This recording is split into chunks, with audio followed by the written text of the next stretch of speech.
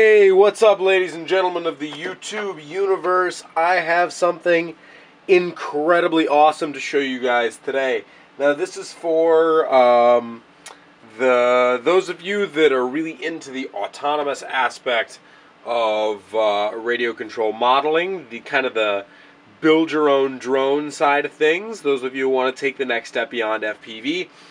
This is the Pixhawk PX4 autopilot from 3D Robotics. Now, to put put very simply what this is, this is essentially uh, the ArduPilot 2.6, uh, but it's totally revamped, uh, a lot bigger, a lot stronger, a lot better set up than uh, the 2.6 in my opinion. So let me show you what you get uh, in the box. I purchased these separately. This module is the upgraded u-blox GPS. These modules are the 3D Robotics 915 megahertz telemetry kit. Now the reason I'm using 915 for telemetry is because I am uh, using 433 for control and I might get a little bit of problem with noise floor from cell phones but uh, I will likely be able to filter most of that out. There's also bi-directional amps you can get for this thing, but more videos to come. More videos to come. We won't get too deep into that. Uh, so here's a Pixhawk itself. Packaged really well.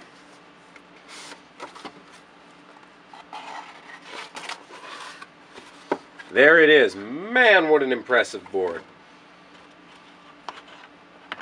One of the things that I like is it's uh, got a lower profile case. It's designed to be fully encased. So that's really cool. It's got actual uh, cutouts for the adhesive pads in the back that hold it down. Nice arrow showing you which way it goes. Forward, now it's got a lot of different features than the APM uh, 2.6. I'll go ahead and read them off to you because I can't honestly remember all of them. Uh, this one has 14 PWM outputs instead of uh, to the 12 that the APM 2.6 has. It also has two ports over here, the RC and SB ports. Those are for uh, PPM multiplexed input and PPM multiplexed output. Uh, now, for you Futaba guys, you guys call that S-bus, but any anything that does PPM muxed will work on here. Like an EzUHF, you can put your inputs on the PPM muxed. Uh, this has five serial ports, so four with some bidirectional functionality, and um, the three, the old version only had three. This one has nearly double the RAM that the original one had. It has a 256 kilobyte uh, RAM bank with a 2 megabyte flash, as opposed to the original APM 2.6 that had a 192 kilobyte RAM and a 1 megabyte flash. It has a much uh, more modernized sensor suite now, I don't know what they really mean by that, but I am guessing that the sensors are going to be a lot higher precision and lower latency. It's got a, a louder buzzer driver. It's got this external multicolored LED also. Um, now, the cool thing is that you can apparently program this to give custom commands, but I'll get into that a little later uh, because I am not 100% sure how that works. It's got support for a panel mounted USB extension, so you can just plug it in directly through USB. Uh, power architecture is a lot better. Looks like their voltage regulation that they've stepped up. Uh, better protection on the pins against shorts. Better uh, power sensing on the rails, internal and external servo voltage. Support for Spektrum satellite pairing. Now this is really cool. See where it just says uh, let's see, SPKT slash DSM, you can plug a Spektrum satellite right in there instead of wiring in your receiver like the old one. Make it a whole bunch easier because this essentially Spektrum puts out a sim, uh, signal that I believe is a, a PPM signal through their um, through their satellite ports, but I'll have to look more into that. I'm, I'm pretty interested in that. All right, and there's no uh, more solid state relays. So apparently the solid state relays were not used. Apparently had they had some inboard switching stuff like the receiver controlled switches.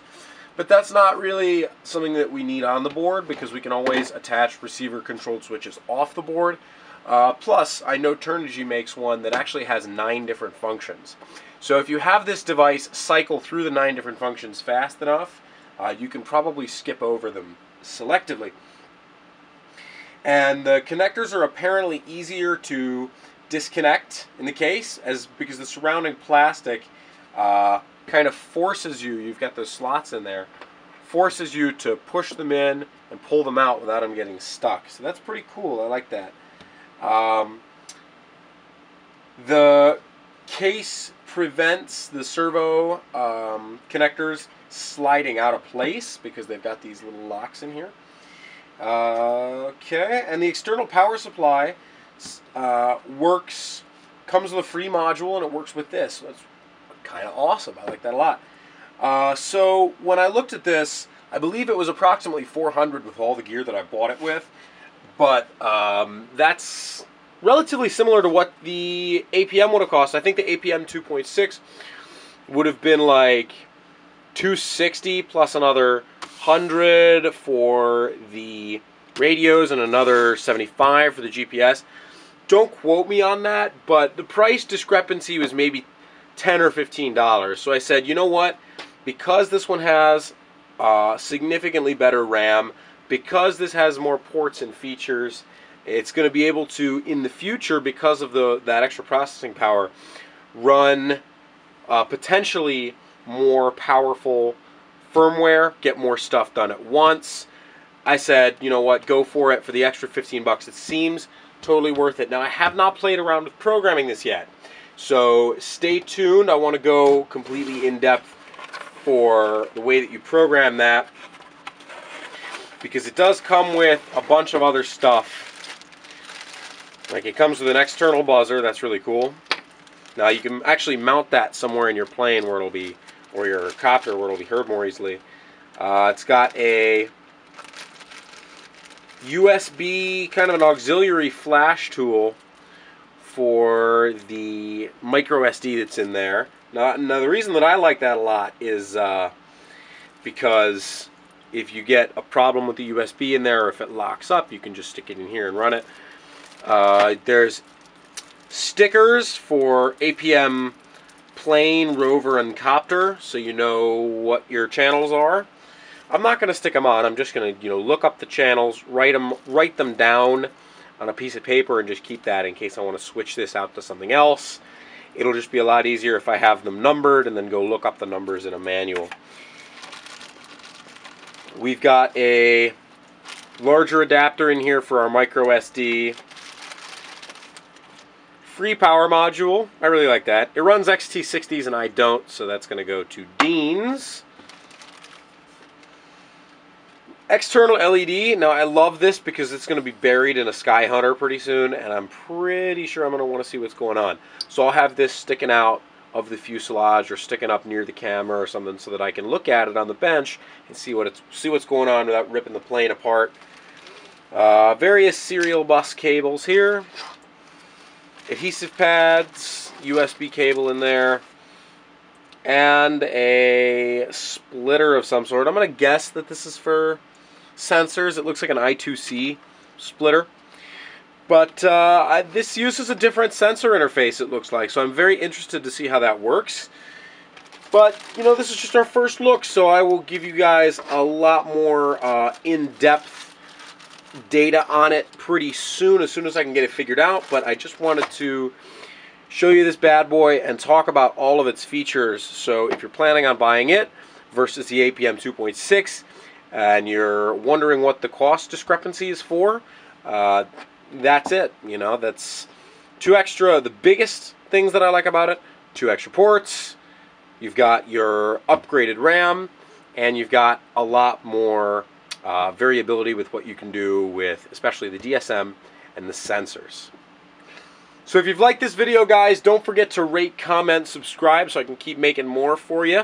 Uh, every subscriber I get gets me closer and closer to building the baddest sky hunter you guys have ever seen. So keep those subscriptions coming, and I'll keep the videos waiting for you.